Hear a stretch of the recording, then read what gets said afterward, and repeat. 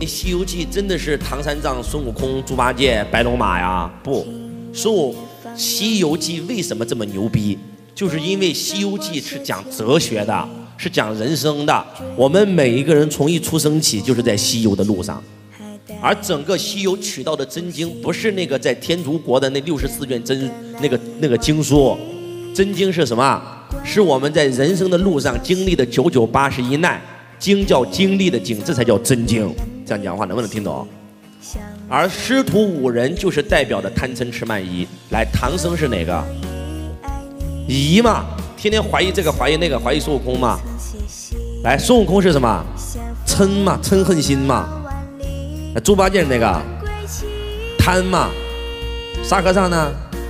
吃嘛。白龙马呢？傲慢嘛，傲慢嘛，所以让你变成马给人骑嘛。贪嗔痴慢疑，我们每一个人都有。你仔细想一下，有没有被骗的经历？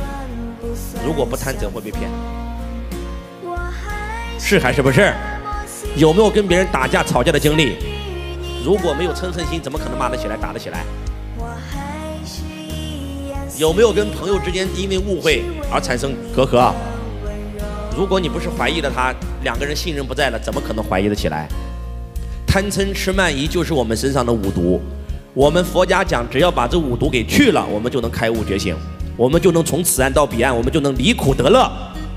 那请问这五毒怎么去啊？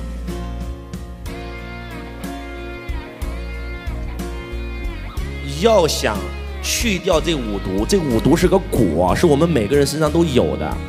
要想去掉这个果，得知道这个果是由因产生的，对还是不对？《易经》里面有一句话特别高：“物有本末，事有终始。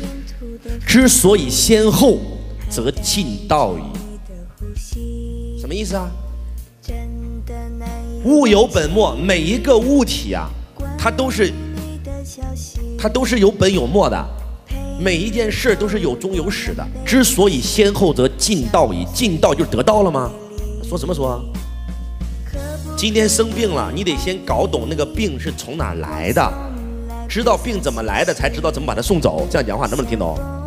西医就是头疼医头，脚疼医脚，咱中医不这么玩，咱中医是要给你号脉，通过望闻问切来找到你的病因，知道你的病怎么来的，才知道把它怎么送走。这样讲话能不能听懂？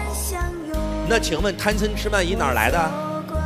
我们这五毒贪嗔痴慢疑，是因为我们有眼耳鼻舌身，所以才会有这五毒。